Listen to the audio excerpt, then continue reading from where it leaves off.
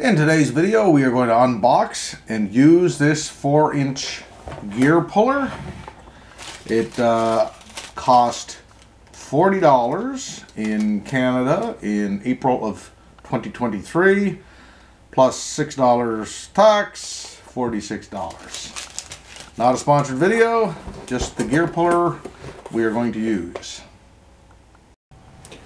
We'll open it up, see what we have inside here.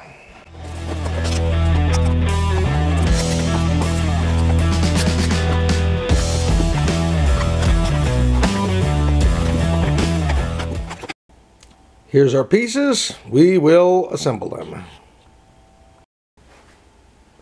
This is a three arm puller.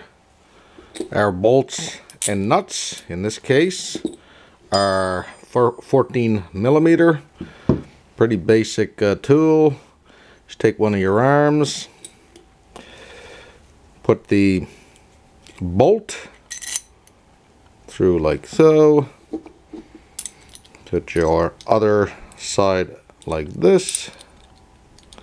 We're not going to do the top here, just showing you how that's going. And we'll fast forward this a little bit and you'll see how basic this is.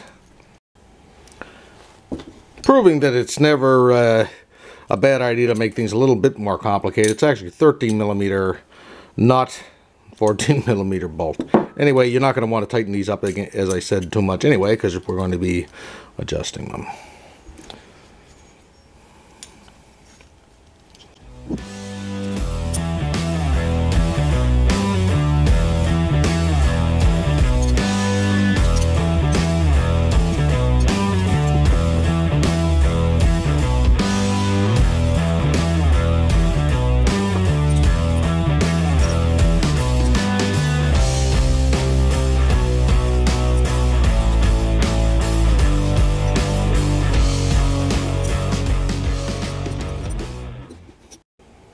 Once it's assembled, it's going to look like this.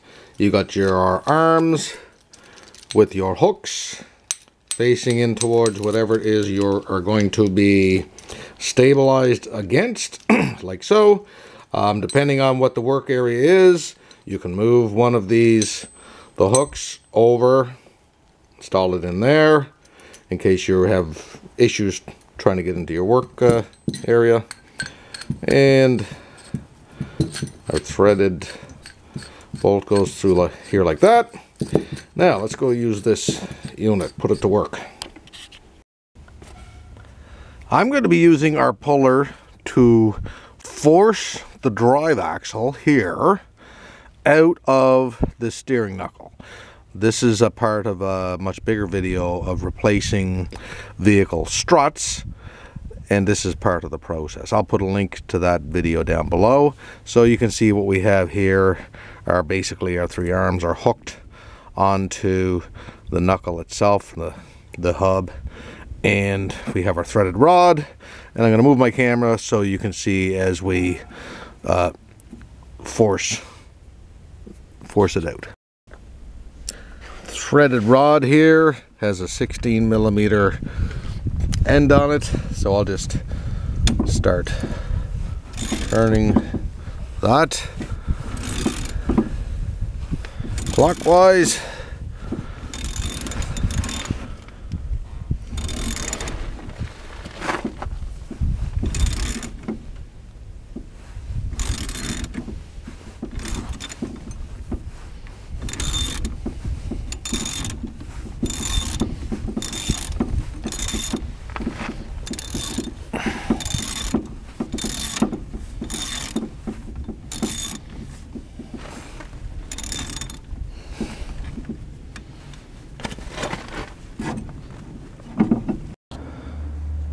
Well, as you can see, the puller forced that out, no problem.